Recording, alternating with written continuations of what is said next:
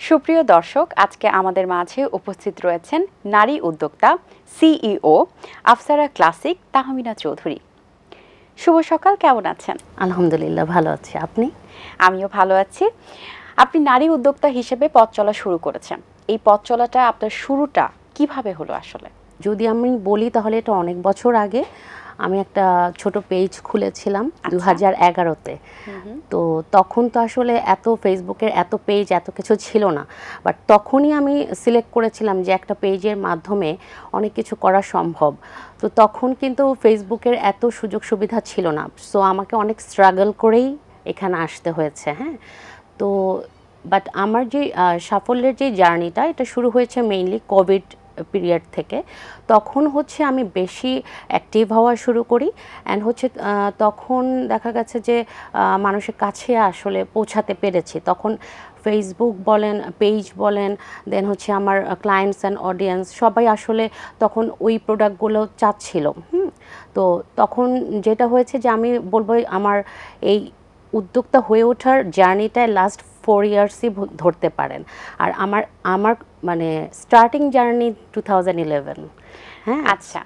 তো আপনি যেটা বললেন অনেক প্রবলেম তো ফেস করতেই হয়েছে। হ্যাঁ, আপনার হ্যাঁ। প্রতিবন্ধকতা তো পরপর এসেছে। সেটা কীভাবে রিকভারি করেছেন এবং কি টাইপের প্রবলেম আপনি সবচেয়ে বেশি ফেস করেছিলেন? দু হাজার কথা যদি আমি বলি তখন তো আমি অলরেডি একটা জবে ছিলাম।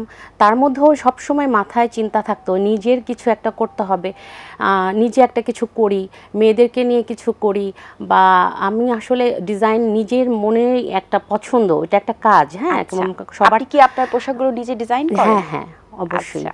আমি ডিজাইনার প্লাস হচ্ছে আমি ওখানের সিও বলতে হচ্ছে আপনি যেটাকে বলতেছেন সিও আমি ওটাকে বলতেছি যে আমি আসলে কীভাবে সিও হলাম আমার জার্নিটা আমার এখনও মনে হয় আমি কর্মী আমি এখনও আচ্ছা। রাত দিন কাজ করে যাচ্ছি হ্যাঁ? সো অনেক পরিশ্রমের ফল এটা। বিশেষ করে last five years four years যদি আপনি বলেন তাহলে এটা অনেক পরিশ্রম হ্যাঁ? এখন পর্যন্ত করে যাচ্ছি আমার আসলে আমি বলব যে পরিশ্রম করলে সফলতা আসবেই এটাই আহ, মানে মানে সাফল্যের চাবিকাঠি। আমি যেটা মনে করি এখন আচ্ছা। এই স্টেজে এসে বোঝা যায় যে আসলে অনেক পরিশ্রম করে যাচ্ছি দ্যাটস ওয়াই এটা আসলে পাওয়া যাচ্ছে। বাট সব নারীকেই আমি বলব যে পরিশ্রম এবং যার যেখানে মেধাটা আছে হ্যাঁ সেটা যদি সে আইডেন্টিফাই করতে পারে তাহলে অবশ্যই সে সাকসেসফুল হবে। আপনি এই সফলতার জায়গা থেকে আপনার কাছে কতটুকু স্যাটিসফ্যাকশন রাখে যে হ্যাঁ আমি কতটুকু স্যাটিসফাইড কাজটা করতে পেরেছি ঠিক মতো করতে পেরেছি আলহামদুলিল্লাহ আমার কাছে মনে হয়।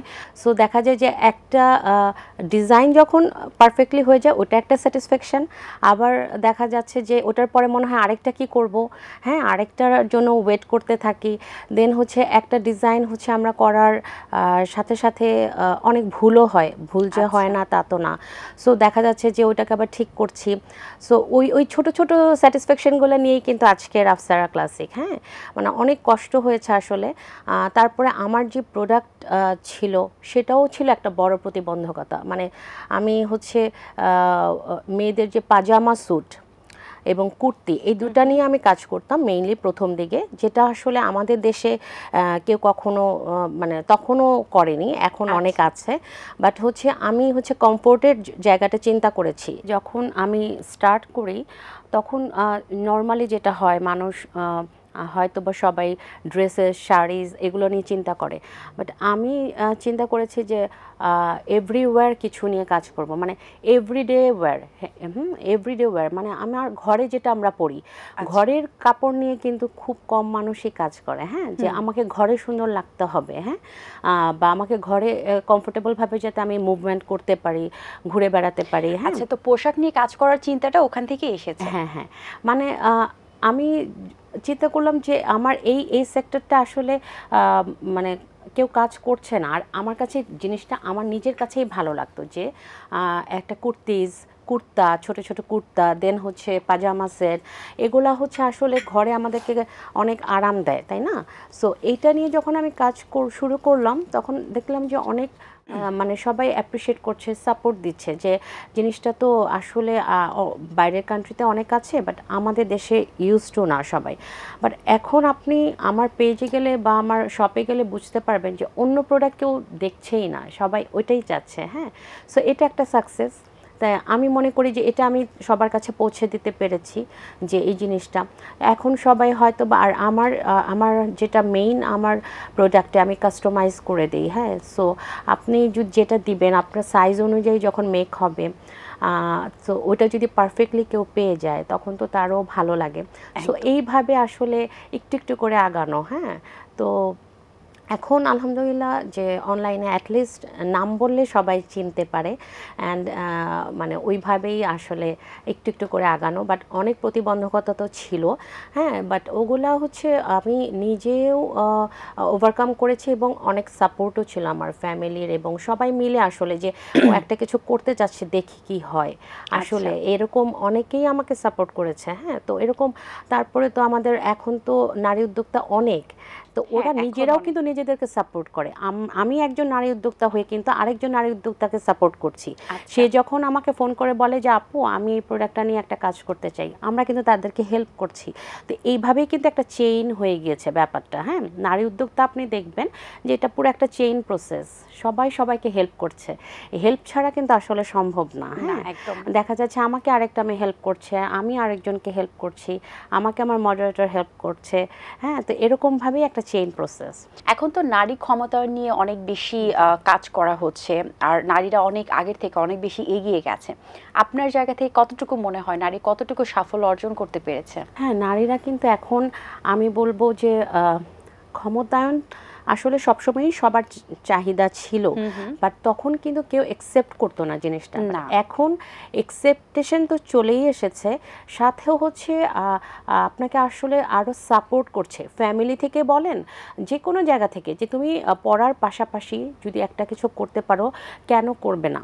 আসলে নারীরা তো পারে বাট ওরা পিছিয়ে ছিল হ্যাঁ? এখন আমার এখানে যেই সব নারীরা কাজ করছে আমি এভরিডে তাদেরকে সাহস দিই।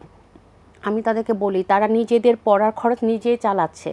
আমার এখানে কাজ করে। এটা আমার কাছে আমি প্রতিদিন বলি অনেক স্টুডেন্ট তারা নর্থ সাউথে পড়ছে আইউবিতে পড়ছে তারা আমাকে হেল্প করছে। হ্যাঁ আমি তাদেরকে আমার মানে কর্মীও বলি না আমাকে হেল্প করছে।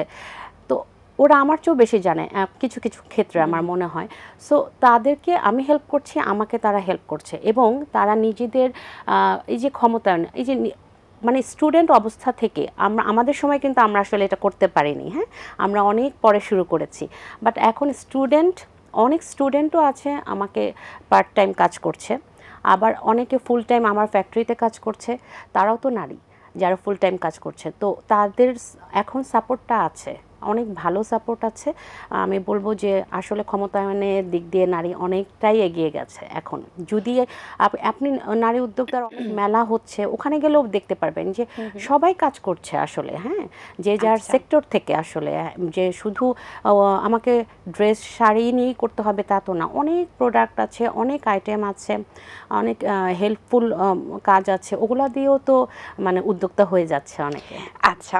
আপনার বুটিক্স হাউসে কি রকমের পোশাক রয়েছে? এখন তো আসলে সব রকমেরই আসলে কালেকশন করেছি বাট ওই যে স্টার্টিং বললাম আমি কমফোর্টেবল ড্রেস দিয়ে শুরু করেছিলাম। এখন ফেস্টিভ ওয়্যার চলে এসেছে, ঈদের কালেকশন চলে এসেছে। দেন হচ্ছে তারপরেও আমি কমফোর্টটাকেই আসলে মেইন প্রায়োরিটি দিই। হ্যাঁ সবসময় আর আগে কমফোর্টেবল যে কমফোর্ট হলে সবাই ওটা ইউজ করতে চায়। আর একটু যদি প্রবলেম হয়, ওটাতে তো আসলে কেউ কমফোর্ট জোনটা না থাকলে আসলে যত সুন্দরই হোক, আমার মনে হয় কেউ পড়তে চায় না। হ্যাঁ সো দেখা যায় যে এখন আমি রিসেন্টলি হচ্ছে আমরা একটা শোরুম দিয়েছি। তো শোরুমের জন্য তো এখন সব রকম আইটেমই করতে হবে। সো এখন আমাদের ড্রেসেস আছে, মেয়েদের ড্রেস আছে, মেয়েদের কুর্তি আছে ফেস্টিভ ওয়্যার বলতে আমরা যা বুঝি হ্যাঁ? আগে যেমন আমার কোনো হ্যান্ড মানে হাতের কাজের কিছু ছিল না, এখন কারচুপির কাজ হচ্ছে এমব্রয়ডারি হচ্ছে দেন হচ্ছে আপনার স্টোন ওয়ার্ক হচ্ছে হ্যাঁ? তো এগুলো সব আমাদের নিজস্ব মানে কারিগর দিয়ে করা হচ্ছে। তো ওখানে যারা কাজ করছে তাদেরকেও তাদেরকেও আমি বলব, নারী পুরুষ দুজনেই করছে, দুজনেরই আমি বলব যে কর্মসংস্থানের ব্যবস্থা হচ্ছে অনেক। মানে সব দিক দিয়ে আমরা তো আসলে একে অপরের পরিপূরক, তাই না? সো আমরা যখন একটা কিছু করব, ওদের ওদের দিক থেকেও ওরা অনেক আপগ্রেডেড হচ্ছে, তাই না? সো এইভাবে আমি বলব যে আসলে সবাই যদি কাজ করে, আসলে দেশের ক্ষমতা, দেশের যে একটা যে বলে না, গড় আয় বেড়ে গিয়েছে। আসলে এইভাবেই বেড়ে গিয়েছে। কারণ কেউ এখন কাজ ছাড়া থাকছে না। আমার ছোট হোক, বড় হোক, আমি তো মনে করি আমার এখানে অনেক মেয়েরা কাজ করছে। এটা দেখতেই আমার অনেক ভালো লাগে। আমিও একসময় কোথাও কাজ করেছি। তো এখন আমি মানে আমার এখানে মেয়েরা কাজ করছে। মেয়েরা যখন কাজ করে, আমি ওদেরকে আরও উৎসাহ দিই যে, তোমরা করতে পারছ। তোমাদের সেই সেক্টরটা রেডি হয়ে আছে। কেন করবা না? করা উচিত। তো এভাবে দেখা যাচ্ছে যে ভালো লাগছে আসলে। আচ্ছা। ভবিষ্যতে আপনার এই বুটিক্স হাউস নিয়ে কি করার পরিকল্পনা রয়েছে? আসলে অত বড় এখন পর্যন্ত আমি চিন্তা করি না। তারপরও যেটা হয় যে একটার পর একটা স্টেপ তো থাকে হ্যাঁ? যেমন আমি যখন অনলাইন করেছি তখন মনে হতো যে কখন আমি আউটলেট দিব আমার একটা শোরুম থাকবে। তো আলহামদুলিল্লাহ এখন আমরা একটা শোরুম দিয়েছি ঢাকার উত্তরাতে। সাত নম্বর সেক্টরে আছে এটা। সো সোফার এখন মনে হচ্ছে যে এটা আরও আগে দেওয়া উচিত ছিল। কারণ সবাই আমাকে খুব সাপোর্ট দিচ্ছে সব আমার সব মানে ক্লায়েন্টসরা সেখানে যাচ্ছে আমাকে সাপোর্ট দিয়েছে। এখন মনে হচ্ছে যে এরকম আউটলেট আমাকে আরও বাড়াতে হবে নারীদেরকে আরও কাজে লাগাতে হবে। আচ্ছা। হ্যাঁ আপনার পিছনে উৎসাহ জুগিয়েছে কে? সেটা তো অনেক লম্বা তারপর আমি বলব সবার আগে পরিবার হ্যাঁ। আচ্ছা। পরিবারই আসলে সোফার পরিবারই কারণ হচ্ছে পরিবারের পরিবার যদি সাপোর্টিভ হয় তাহলে অনেক হার্ড কাজও ইজি হয়ে যায়। সেক্ষেত্রে। অবশ্যই মনে হয় সামনে ভালো সাপোর্ট অনেক ভালো সাপোর্ট ছিল। আসলে না হলে তো পসিবলই ছিল না। যেহেতু আর তাছাড়া ওই যে আপনি বললেন প্রতিবন্ধকতা তো থাকেই। হ্যাঁ, মেয়েদের ক্ষেত্রে যেহেতু আমি এখন একটা মেয়ে আমি একটা ফ্যাক্টরি দিব হ্যাঁ? সো আমাকে অনেক জায়গায় যেতে হয়েছে মেশিনারিজ কিনতে হয়েছে। সো সেই ক্ষেত্রে তো আমাকে একজন সাপোর্টার লাগে আচ্ছা, হ্যাঁ? আচ্ছা। সেক্ষেত্রে আমার পরিবার আমার হাজবেন্ড বলেন আমার মানে আমার ফুল পরিবারকেই আমি বলব যে তারা অনেক আচ্ছা সাপোর্ট আপনি একজন নারী উদ্যোক্তা বা বিজনেস ওমেন থেকে আপনার জায়গা থেকে এমন অনেকে রয়েছে যারা খুব করতে চান। বিজনেস করতে চান বা নতুন করে কিছু স্টার্ট আপ কাজ করতে চান বাট দেখা যায় সাহসের অভাবে অথবা তার মানি কস্ট থাকতে পারে সেটার অভাবে বা অনেক কিছু বিষয় থেকে থাকে সেক্ষেত্রে তারা অগ্রসর হতে পারে না বা স্টেপটা নিতে পারে না। সেক্ষেত্রে আপনার আপনার জায়গা থেকে কতটুকু বলতে পারেন যে কোন জিনিসটা তার সবচেয়ে বেশি হাইলাইট করে এই কাজে চলে আসা উচিত বা আগ্রহ প্রদর্শন করা উচিত? একমাত্র কনফিডেন্ট। সাহস হ্যাঁ? সাহস থাকতে হবে যে আমি এটা করব করতে পারব। এই দুটা জিনিসই।